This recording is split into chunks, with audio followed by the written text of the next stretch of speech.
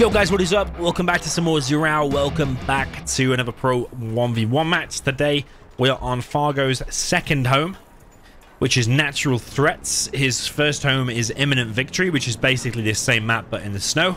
and uh, down in the south, we have the USA Vanilla. For the blue player, this is Fargo. Bit of an older replay for you today, at least several months old, I believe. Up in the north, we have the red Super Weapon General, which is BoYcaH. So yeah, BoYcaH with the army disadvantage here.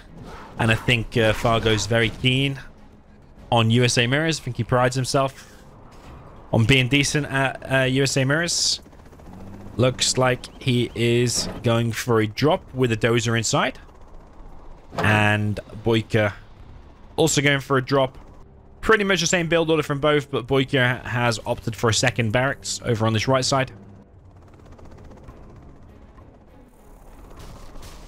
BoYcaH coming in with a 3MD drop. Is Fargo paying attention? BoYcaH's drop could have been a little bit quicker there, to be honest. And the laser lock from BoYcaH could also be a little bit quicker. Fargo slow moving his Chinooks regardless and loses one. Um, where's the Fargo drop? Gone. There it is. Yeah, a bit weird here from Fargo.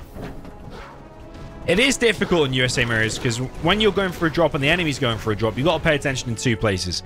And even if you look away for a split second, it's literally could be decided right there and then. It could be decided uh, just by losing one extra Chinook or or whatever. But if, if you shut down the enemy's drop, with a nice laser lock on the Chinook before it can land. And that's obviously very good and can be game ending as well. So yeah, you've really got to pay attention. Just like really delicate matchup. More so than the others. Of course, if you look away for a split second in other matchups, it can change things as well. But I mean, if you if you lose your drop and then lose the Chinook back at home, that's probably GG just literally based on that. I suppose you could say the same about GLA Mirror if your TNT fails and the other one hits. But it's just because the Chinooks here are so expensive and so easy to laser lock.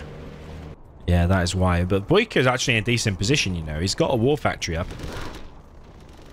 Fargo also has a war factory up. But BoYcaH is fully collected on two supplies. Two Chinooks on each.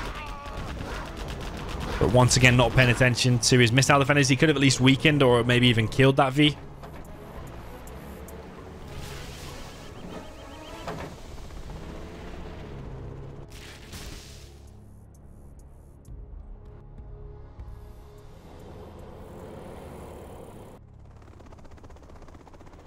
Fargo coming in now with a double attack. One on this left-hand side. It's going to run straight into an EMP there. Ooh, EMP's low power. Fargo might decide to actually go... Ooh, okay, power's back. I was going to say he might decide to go in. BoYcaH seems to be on it, you know. He's got the weaker army here. And he's also harassing Fargo down in the bottom left. Neither player has the oils just yet. And BoYcaH just seems on the defense. Like he's got he's got defense here. He's got defense here. He's uh, got an EMP on the left. And he's also attacking. And Fargo can't collect on this right-hand side yet. Is BoYcaH going to laser lock here? He is. Goes to the laser lock, but the V is tucked now behind the supply. Does get himself a V anyway. Yeah, this is nice play from BoYcaH. Apart from that slow drop in the beginning, but he definitely would take his position here. Another EMP being deployed. So pretty much one of the only places Fargo can attack is there. But you'd have to literally go down that exact path. Like probably follow this actually. Or just the left of it.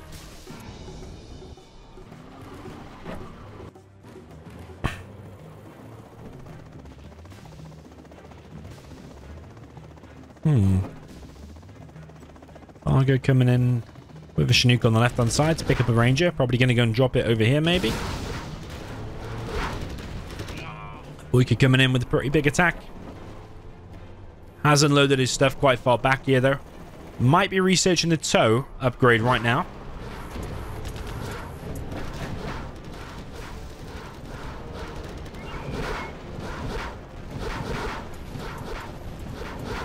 Yeah, how's Fargo going to deal with this? Because he can't collect right now. He needs to move these Chinooks out of the way. Using more HP on these Chinooks. Fargo does clear it up, actually. Mainly with the help of those MDs chipping away at it. Fargo does not have any oils. Boyk is actually building an airfield and a strat, so he wants to head for Auroras. Fargo coming in with a drop in the middle. Boyk is getting his oil. I think Boyk is ahead in so many ways. The thing that's still going for Fargo, though, is the army advantage. His V's are cheaper. Uh, yeah, what army is he? He's USA, so his V's cost 700, whereas BoYcaH's cost 850. But BoYcaH has the tow upgrade as well, has an extra oil, and uh, yeah, he's going to be on Aurora soon. Nice laser locks here from Fargo and BoYcaH, likewise. But BoYcaH is going to come out on top there. He's trying to move his ambulance out of the way, but it's getting laser locked and goes down.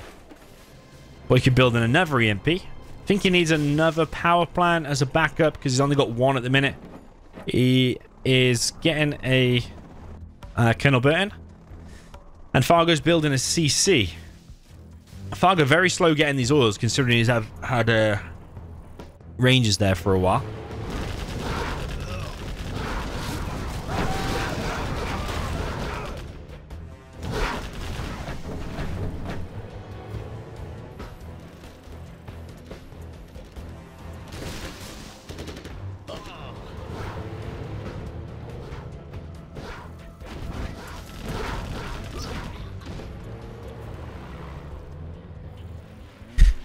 Yeah, Fargo, I don't know if he's going to be able to get in anywhere or even escape without V alive at all, to be honest. It goes north, it goes into an EMP. Or she's going to die to that V, or if it went uh, down south, it would have um, been laser locked to death as well, so... Not an ideal position for, for Fargo because Auroras are out now as well. Trying to figure out what that actually hit, though. Or did it just not hit anything. Or maybe hit here.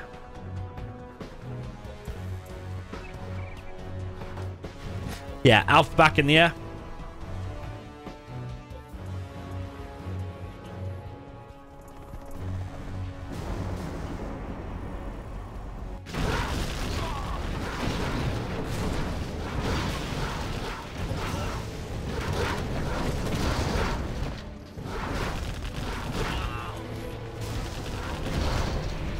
Once again. Oh, but you might get laser locked. Is the Alpha too fast? Looks like it. Alpha's coming in again. No trees on fire. That's sometimes what the Alpha Auroras do. Set the trees on fire as well. Fargo's finally trying to get himself some oils, but it seems like an absolute age. He's been standing around.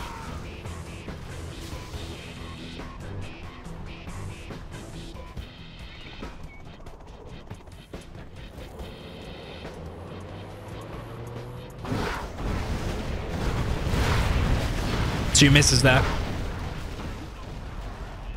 From BoYcaH with the Auroras. If Fargo does escape with his Vs.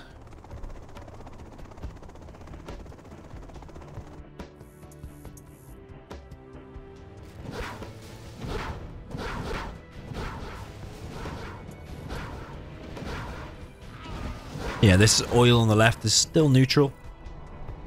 Two alphas still circling in BoYcaH's base.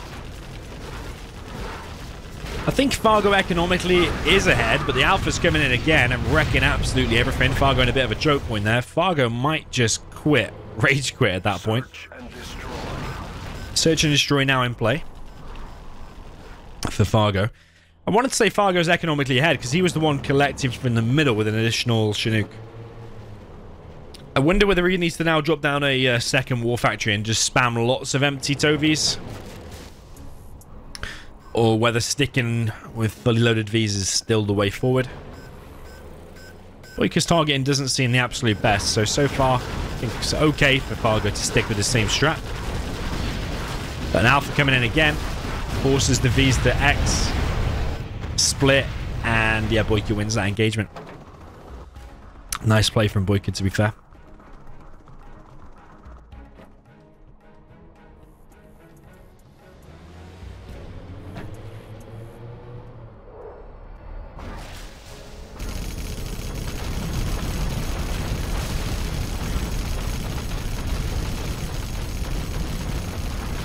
Spectre for BoYcaH takes out Fargo's on the oil, so BoYcaH's on a two oil advantage now. It's just a really solid and safe play now from BoYcaH, to be honest. He hasn't, he hasn't got to rush into anything at this point. His Alpha's coming in doing some crazy damage. Fargo does survive there with a lot of Vs as well. But the power now being built for Fargo. Does he need that?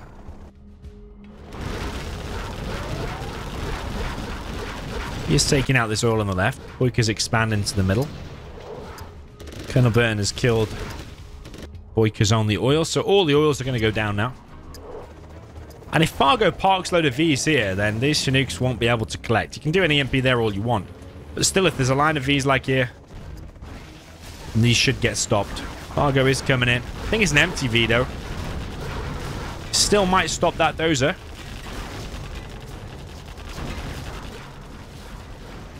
Where are the alphas? They're coming in now. Raining down some damage and destruction here for BoYcaH's ground forces now to have an easier time. EMP is up as well. Fargo continuing to spam the units. But Colonel Burton is going for a true walk. I, I, don't know if Fargo can actually kill that. Unless he made a Comanche and scanned it, I don't think he can actually kill that. So Colonel Burton is just chilling in a tree. Probably until the end of this game. If Fargo stays there at least. Yeah, BoYcaH has more Vs out, more EMP defense. He's ahead in XP. Alpha's coming back through. And that's insane damage. Only one V there survives. And BoYcaH now entering the base with so many Vs. I don't think Fargo's going to be able to hold this. Coming in, wrecking everything. Colonel Burton just still chilling down at the bottom right. BoYcaH now entering the base with probably what's going to be the killer blow. This has just been a really solid performance from BoYcaH. Ever since that bit of a stalled and weird start there from Fargo, he has now been defeated. It's like weird because initially his drop came in, Fargo's drop, and then he went back, and then he went back in again. Uh, yeah, it was a little bit slower. I felt, I felt like in the beginning maybe it was caught a little bit cold, and BoYcaH's drop in the beginning was better. Uh, even though it was a slow laser lock, it was a slow drop and then a slow laser lock, but BoYcaH was just more on it, more on his defense and then also killed that first Chinook as well. And it just shows you probably probably a lot of it stems from that, how well the first drops went. BoYcaH's was successful and Fargo's kind of failed a bit. So yeah, BoYcaH wins there with the weaker army. GG. Well played. Let me know what you thought in the comments down below, and I'll see you in the next one.